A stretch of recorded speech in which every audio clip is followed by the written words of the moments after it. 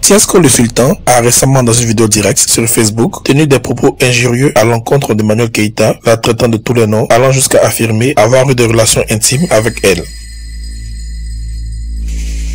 Ce 27 novembre, celle-ci lui a répondu, tout en clashant au passage son ennemi juré Yves Je ne vais pas concélébrer longtemps un petit désœuvré mental. La prison n'a pas allégé les vilainies de cette mime de caserne. Les mêmes causes produisent les mêmes effets avec un enfer plus atroce et prolongé. C'est pas à toi que j'en veux, toi tu serais prêt à tout pour exister. Donc souffre que ton nom ne sera jamais prononcé ici. Et que tu resteras éternellement un homme de l'ombre.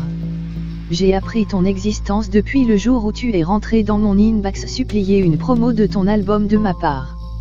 La personne qui t'envoie faire cette sale besogne ne pourra pas t'aider quand tu seras arrêté pour diffamation. Frère, la prison te bip. À toi sister, je suis la propreté faite chère. C'est la première chose qui marque les hommes de ma vie. Mon hygiène est indiscutable. Non. Tu arriveras pas à me coller ta réputation de ton hygiène buccale dont tout le monde parle. Dans mon cas il y a que, l'insultant, qui parle, ce dernier ne me connaît ni d'Adam ni d'Ève mais il ne pourra jamais m'oublier et même toi tu regretteras de l'avoir embarqué dans cette vengeance. Reste fort homme, la route est encore longue pour toi. PS, arrête de faire intervenir tous tes vieux pères de Paris pour inventer sur moi. Moi j'ai fait que rigoler d'une histoire de la paix et non créer un bad buzz sur toi. Nuance. Ma team, excellent et fructueux début de week-end à vous.